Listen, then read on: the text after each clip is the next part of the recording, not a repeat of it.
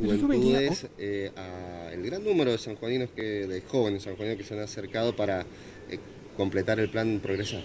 Así es, este, un programa nacional realmente muy importante que bueno, tiene que ver con el fortalecimiento del sistema educativo y tiene que ver también con bueno, otorgar de alguna manera posibilidades a aquellas personas que habían interrumpido quizás el cursado del, del ciclo del nivel secundario por alguna cuestión, fundamentalmente económica. Bueno, el programa Progresar justamente viene eh, de alguna manera a otorgarle un acompañamiento y una ayuda a aquellos jóvenes que están cursando o que habían interrumpido sus estudios secundarios que tienen entre 16 y 17 años con una ayuda económica de manera mensual, que son alrededor de 5.600 pesos, como para aliviar de alguna manera los gastos que tiene cada estudiante al momento de asistir al establecimiento educativo.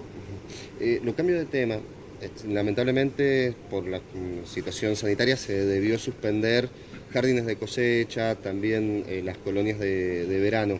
Eh, con respecto a los kits escolares, eh, ¿se van así a entregar?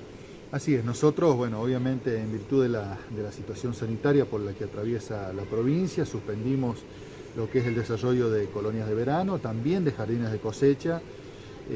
Dios mediante vamos a, a retomar este tipo de, actividades ya vinculadas eh, a lo que son los centros de desarrollo infantil, los famosos CEDIS, eh, que coordinamos con cada una de las municipalidades a partir del mes de marzo con el arranque del ciclo lectivo.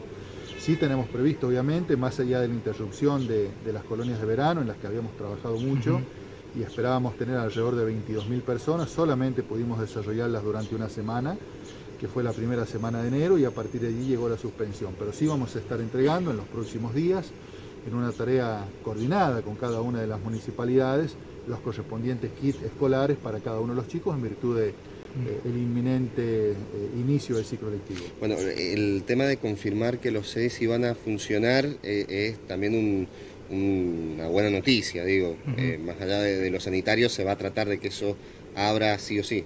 Sí, obviamente, obviamente. Entendemos que es una cuestión necesaria, que acompaña este, también al sistema educativo, que sirve de contención, que, facilita que muchos padres que desarrollen alguna actividad laboral este, dejen sus hijos al cuidado del Estado. Digo, hay una tarea realmente importante este, con docentes que están a cargo, con personal especializado. con personal no docente también, que son quienes llevan adelante esta tarea. Nosotros pretendemos eh, dar inicio a la actividad de, los centros de desarrollo infantil eh, prácticamente de manera paralela o de manera conjunta con el inicio del ciclo electivo que va a ser la primera semana del mes de marzo. Ya se le viene dando mucha importancia a los CEDI, ahora obviamente con estas suspensiones de lo que fueron las colonias y los jardines de cosecha, mucho más. Sí, por supuesto, por supuesto. Obviamente cada año tratando de fortalecer esto, este, con mayor cantidad de docentes, con, mejorando la atención, mejorando el mobiliario, tratando de generar un ámbito realmente confortable para que los chicos puedan desarrollar las distintas actividades que, se plantean y se proponen durante todo el año y obviamente con una gran colaboración de cada uno de los municipios de la provincia de San Juan, que son los encargados de proponer eh, la, infraestructura donde funciona cada uno de los EDIs y obviamente el acondicionamiento de los mismos, bueno, que cada año este, eh, son pintados, hay un mantenimiento importante, este, y esto, bueno, obviamente es una tarea que llevan adelante los municipios y que nosotros fundamentalmente agradecemos. Eh, lo cambio de tema, sabemos que se va a absorber a aquellas personas que no perciben la tarjeta alimentar para recibir el módulo alimentario. Eh, ¿Eso va a ser automático por parte del ministerio? ¿Va a tener que la persona acercarse?